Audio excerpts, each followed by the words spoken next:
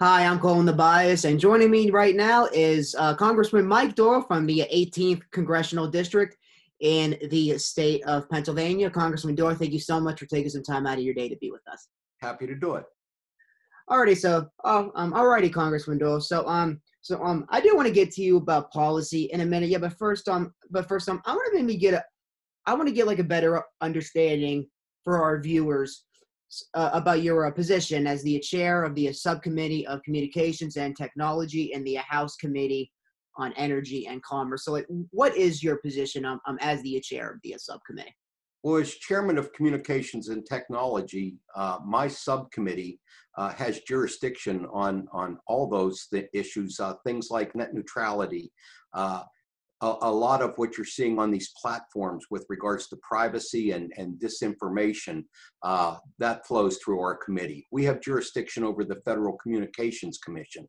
So from time to time, we have the FCC commissioners in front of our committee uh, to speak with them and ask them questions on, on policies they're carrying out.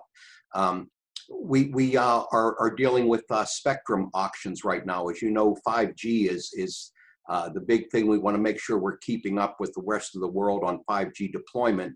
And to do that, uh, we need a lot of mid-band spectrum. And uh, so that needs to be auctioned off uh, and, and uh, for that. And then the other thing is, is one of the things we want to do is a, a huge broadband deployment bill to make sure that we're getting broadband to rural America uh, and underserved areas in America.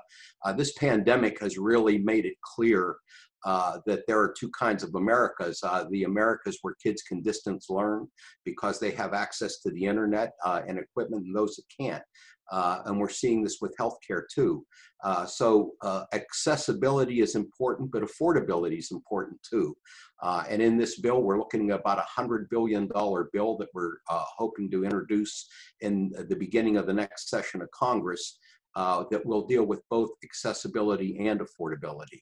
So those are some of the things my committee does.